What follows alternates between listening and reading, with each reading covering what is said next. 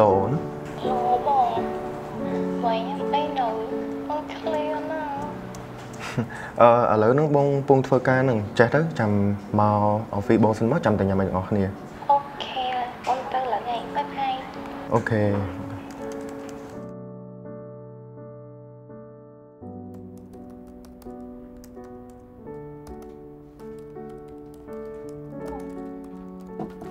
អឺណៃគួចចុះសិនមកបងមកឲ្យការងារតិចសិនណា អូនណៃតែគេមកណាទិញឲ្យញ៉ាំតិចតួចណាណា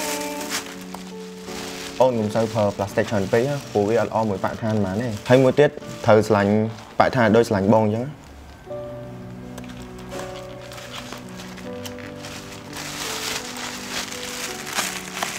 បងហឹមស្អែកវ៉ាឡែនថៃដែរបាញ់ទៅណាមកអូនអត់បងតាមអណៃទេអណៃចង់ទៅណាបងទៅហ្នឹង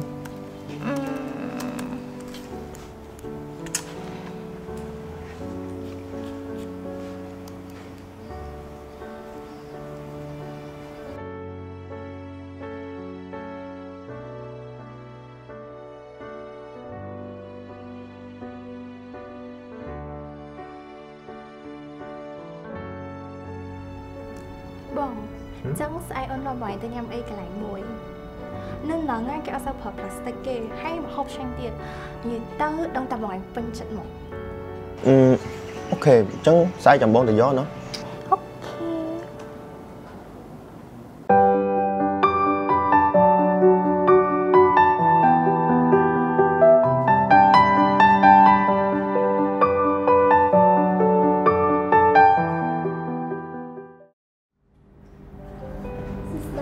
បាទស្ដាយបងចឹងអឺចង់ថាម៉េចដែរខ្ញុំសុំមើលមនុយពេលនេះបាន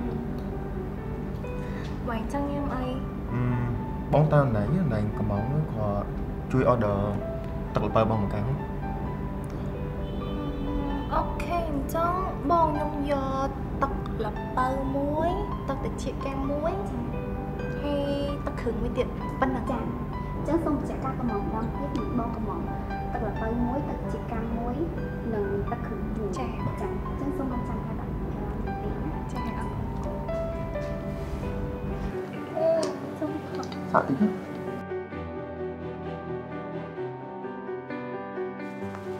ឆ្ងាញ់សាហាវ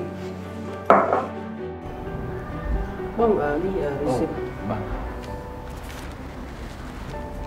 អូបង និយាយអញ្ចឹងខ្ញុំដូចឃើញ promotion Valentine Day នៅក្នុង Facebook á, ដាក់ថាបាន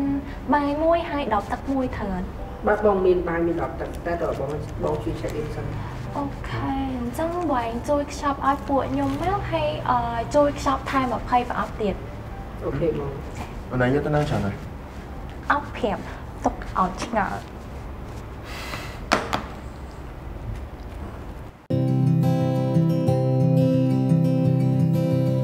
Música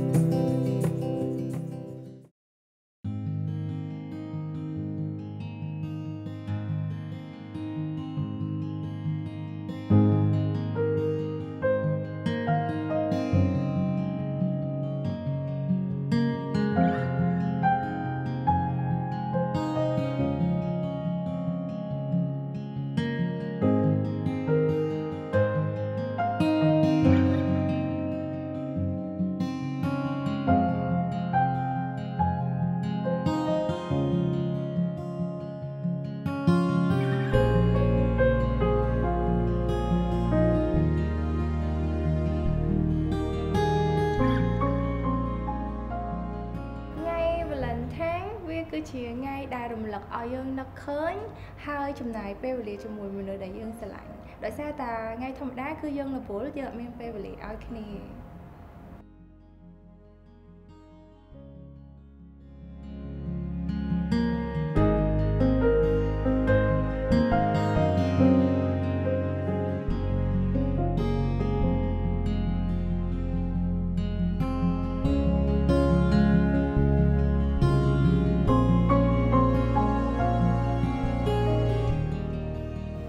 មួយវិញទៀតការចែកម្លែកក្តីស្រឡាញ់ហ្នឹងគឺមិនមែនធ្វើបានតែថ្ងៃ Valentine ទេយើងអាចធ្វើវាបានរាល់ថ្ងៃណាតាមពិតទៅខ្ញុំជាមនុស្សដែលងប់នឹងការងារហើយពីមុនមកខ្ញុំអត់ដែលគិតថាខ្ញុំនឹងធ្វើកិច្ចការហ្នឹងទេនៅក្នុងឆ្នាំហ្នឹង Valentine's Day របស់ខ្ញុំគឺខុសពីរាល់ឆ្នាំដោយសារតែឆ្នាំនេះអឺការបង្ហាញក្តីស្រឡាញ់របស់ខ្ញុំគឺមិនមែនមានតែខ្ញុំពីរនាក់ទេតែឆ្នាំនេះគាត់ surprise ខ្ញុំគាត់នាំខ្ញុំទៅចែកបាយប្រអប់ជូនអ៊ំសក្លូ ហើយពេលហ្នឹងខ្ញុំហត់ខ្ញុំកាន់បាយប្រអប់ហ្នឹងច្រើនមែនតើប៉ុន្តែពេលដែលខ្ញុំចែកឲ្យគាត់ណាគាត់ឲ្យខ្ញុំដាក់ខ្ញុំហើយក្នុងស្នាមខ្ញុំគាត់ហ្នឹងមានក្តីសង្ឃឹមជាច្រើនអញ្ចឹងធ្វើឲ្យខ្ញុំហ្នឹងសប្បាយចិត្តសប្បាយចិត្តខ្លាំងមែនតើពេលហ្នឹងគឺខ្ញុំបានបង្ហាញក្តីស្រឡាញ់ទៅកាន់អ្នកដែលកំពុងត្រូវការវាផងដែរ